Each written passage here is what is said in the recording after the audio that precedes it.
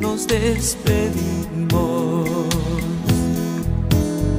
Con lágrimas en los ojos me dijo adiós. Sentía que me arrancaba parte del alma que se llevaba con ella mi corazón. No pude mirar sus ojos, volteé mi cara.